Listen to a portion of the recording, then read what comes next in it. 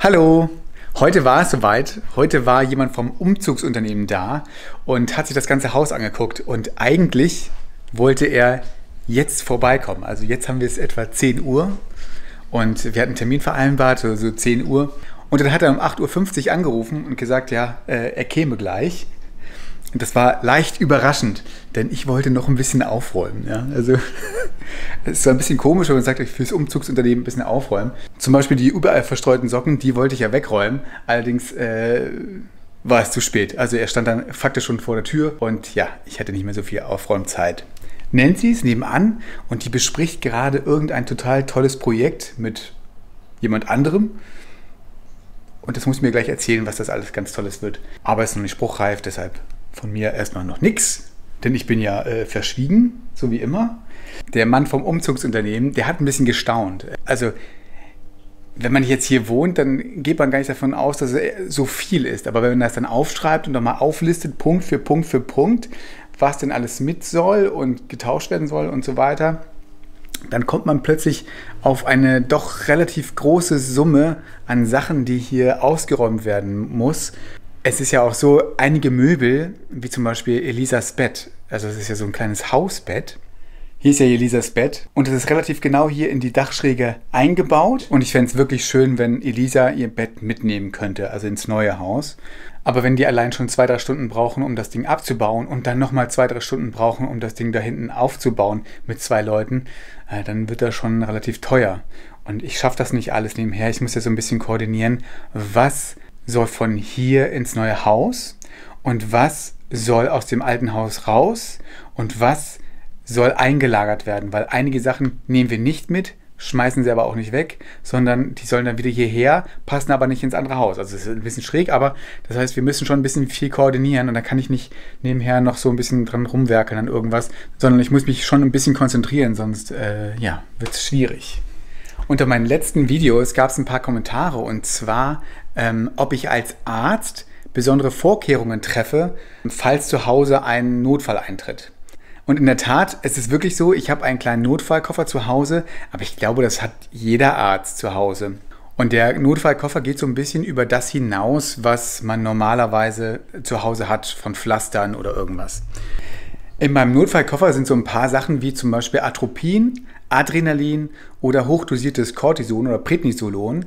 Das sind so Standardmedikamente, die man dann verabreichen kann, falls es irgendwie zu einem zum Beispiel allergischen Schock kommen sollte. Ich habe aber was zu Hause, was man auch als Nichtarzt kaufen kann und was noch nicht mal jeder Arzt hat. Und zwar habe ich Beatmungsbeutel zu Hause. Weil ich einfach festgestellt habe, bei so einer Beatmungssituation, also bei einer echten Beatmungssituation, wenn jemand ähm, reanimationspflichtig wird, dann ist das nie so wie im Lehrbuch und dann ist es nie so, wie man es gelernt hat. Bei meiner ersten Reanimation war es so, dass die Patientin reanimationspflichtig wurde, weil sie Wassereinlagerung in der Lunge hatte.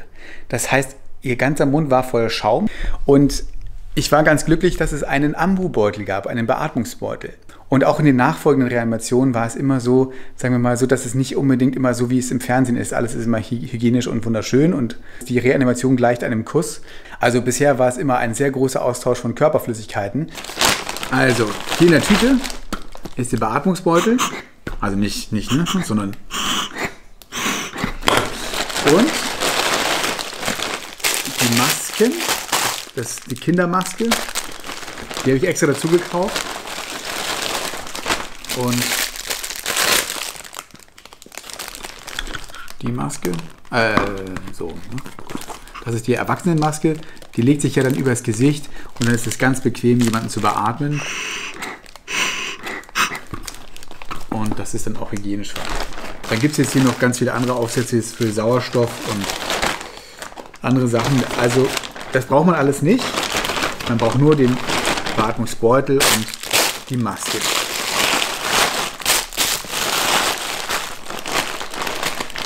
Und was ich auch immer zu Hause habe, das ist aber nicht unbedingt für Notfall gedacht, das sind Inhalatoren. Und das ist ganz schön bei Erkältungen.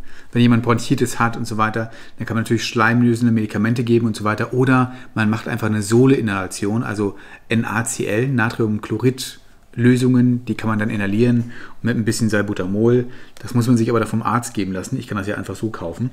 Ähm, ja, das ist dann schon meistens sehr hilfreich bei Erkältungen, dass das alles ein bisschen besser geht und dass der Husten meistens auch ein bisschen zurückgeht, ohne dass man jetzt besondere andere Medikamente nehmen muss.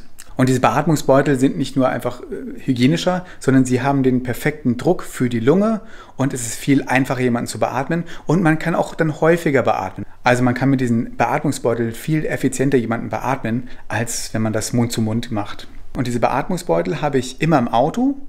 Das heißt, wenn ich sie brauche, zu Hause weiß ich immer, das ist im Auto. Ich kann schnell zum Auto gehen und weiß, da ist es. Und wenn ich unterwegs bin, und mal wieder Leuten helfen muss äh, bei Unfällen, was interessanterweise schon mehrfach vorgekommen ist, dass ich dann solche Beatmungsbeutel auch mit dabei habe und äh, effizient helfen kann. Also was in jedem gut sortierten Haushalt gehört, ist also Adrenalin, Atropin, Beta-Blocker. Ja gut, also das ist ein paar mehr. Ne, Morphin habe ich auch mit dabei. Das ist ja auch ein Notfallmedikament, um Menschen, die starke Schmerzen haben, runterzubekommen, dass sie eben äh, nicht mehr so starke Schmerzen haben.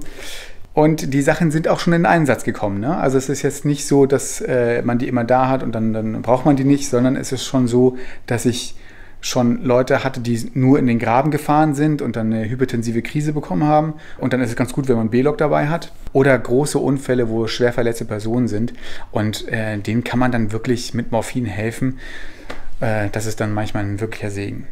Was ich immer zu Hause habe, in verschiedensten äh, Formen, sind Breitbandantibiotika.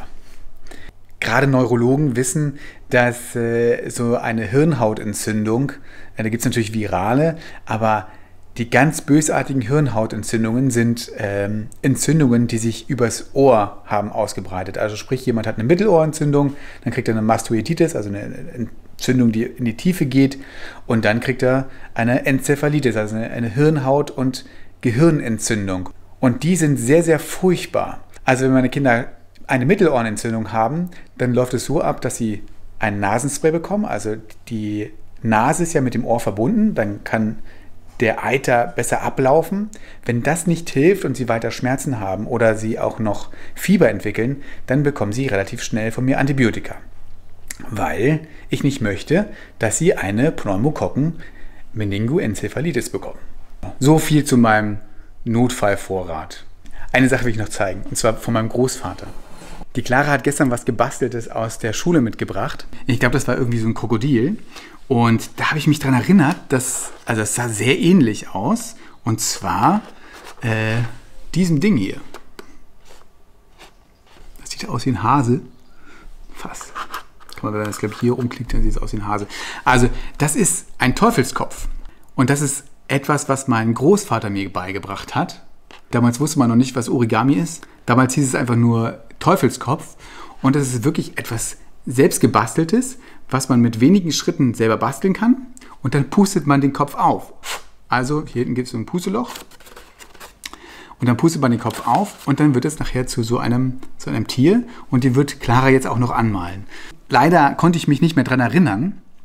Ich wusste nur, dass mein Großvater das irgendwie Teufelskopf genannt hatte. Teufelskopffalten irgendwie. Und ich wusste nicht, ob das wirklich der Originalname ist für, diese, für dieses Origami.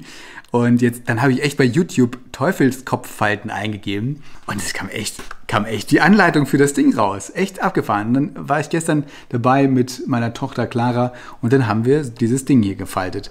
Und ja, also es ist sehr schön. Also sie hat hier gemacht. Yes. Das haben wir natürlich parallel gemacht, ne? Welchen habe ich gemacht? Welchen hat Clara gemacht? Welcher ist schöner? Davon abgesehen, dass es einfach auch für Kinder ganz toll zu falten ist, ähm, und spannend zu sehen ist, so ein dreidimensionales Ding draus zu falten. Ähm, es ist einfach auch ein schönes Erinnerungsstück an meinen Großvater. Nancy gießt jetzt hier eifrig ihre Pflanzen. Und du hast dir was gewünscht, Nancy?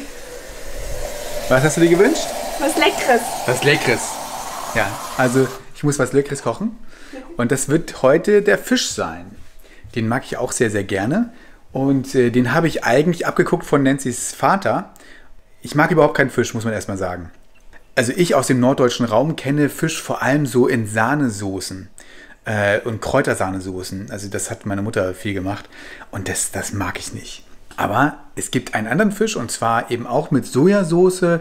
Ganz wichtig ist Sternanis. Ja, und verschiedene Gewürzen und das schmeckt echt ganz, ganz toll. Kann ich nur empfehlen. Mit Reis dazu. Den habe ich gestern schon vorbereitet. Das heißt, wir werden ihn heute ein bisschen anbraten. Und ja, dann war es das schon. Ne? Reis, Gemüse. Kannst du auch wieder so ein China-Kohl. China-Kohl. Oder äh, Eisbergsalat. Achso, ja, der, der Eisbergsalat. Das mache ich dann. Der sieht schon ein bisschen traurig aus. Ja, den nehme ich auch. Der Fisch wird jetzt nicht da drin gebadet, sondern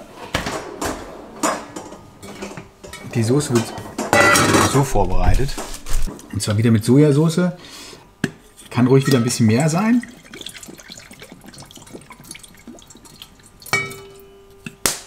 Und dann kommt da Zucker rein. Also es gibt ja einige Rezepte, die dann Honig äh, nehmen. Äh, ich würde aber Zucker empfehlen, weil Honig dann, also ich finde, es schmeckt besser, als wenn man da Honig nimmt. Ende. Ich, ich liebe ja Sternanis und ich glaube, das gehört auch zum festen Bestandteil der asiatischen Küche, irgendwie Sternanis und Zimt, interessanterweise. Also die, die leckersten Soßen aus äh, China habe ich mitgenommen. Da waren, war überall Sternanis und irgendwie auch, oder Zimt drin. Oder Sternanis und Zimt, wie auch immer. So. Und Ingwer. Ja, ja, Ingwer auch. Obwohl Ingwer mag ich nicht an sich, aber als Gewürz ist es echt gut. Gut, also ein bisschen Sternanis, ein bisschen Zucker und Ingwer und Knoblauch. Ich schmunzel gerade so ein bisschen vor mich hin, weil für Nancy ist Essen so wichtig und man kann Nancy eigentlich nur mit leckerem Essen eine richtig tolle Freude machen. Also da, da helfen keine teuren Taschen oder irgendwelche Schmuck, Schuhe oder so. Das, das will sie alles nicht haben. Also wenn sie am liebsten immer Was Leckeres. was Leckeres zu essen. Und dann ist es schwierig, etwas super Leckeres zu finden. Weil mit Brot kann man sie dann nicht herlocken. Auch selbst wenn das Brot lecker beschmiert ist. Mit Leberwurst zum Beispiel. Sondern es muss immer irgendwas total Abgefahrenes sein. Ich liebe dich dafür. Also, dass du wirklich auf solche Sachen, also auf so Handtaschen und, und Fell irgendwas, überhaupt kein, mir keine irgendwelche keine Fellmäntel oder dass du sagst, ich brauche ein tolles Auto oder so, sondern das ist irgendwie völlig uninteressant. Aber das, was richtig interessant ist, ist leckeres Essen. Ja.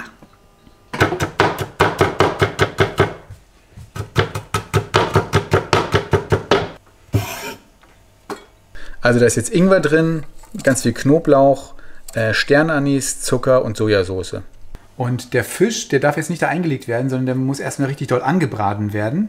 Von beiden Seiten, dass er schon knusprig ist. Und erst dann kommt die Soße dann rein und dann muss das Ding vor sich hin köcheln. Also die Hitze reduziert und dann köchelt das vor sich hin. Sondern zieht das alles so ein bisschen ein. Dann wird die Soße auch dicker und da muss man ein bisschen abschmecken, dass es, dass es dick und süßlich ist und schön nach Sternanis schmeckt. Und trotzdem ist dann noch diese Säure vom Ingwer mit dabei. Damit verabschiede ich mich jetzt schon. Bis zum nächsten Mal. Tschüss!